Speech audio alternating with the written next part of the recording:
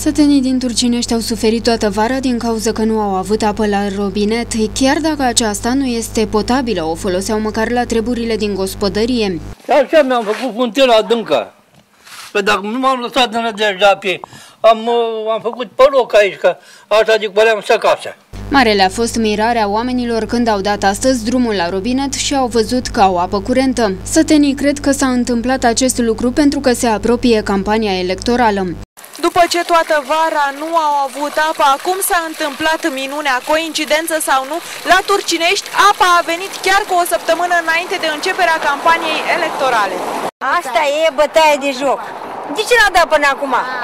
Apă, de, o de acum, că votările acum. Păi om fi noi de la țară, dar nu suntem mai proști ca aia de la oraș. Acum cu alegerile și cu campania electorală, eu... ca întotdeauna.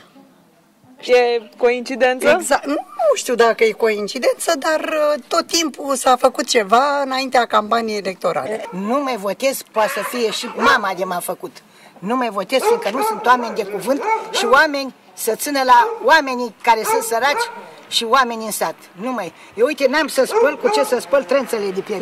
Sunt oameni care au început să-și care provizii de apă pentru că se așteaptă să fie oprită din nou. Chiar și primarul se gândește să întrerupă alimentarea cu apă în campanie dacă se consumă foarte mult. Vă faceți provizii de apă? Da, păi trebuie să-mi fac. Mă duc să umplu un și aici de chile. Să las să spăl și o trențele astea după mine. Păi e frică că se ia iar apa? Păi cred că să ia. Să ia, nu ne-o lasă mult, să știți. Dacă e vorba de campanie, atunci n-am decât să o opresc când începe campania. Deci campania mai este până începe. Eu am dat drumul și în septembrie, și în august, în Rugi, în Orez, și în Cartiu am dat drumul. Deci n-am dat drumul pentru campanie.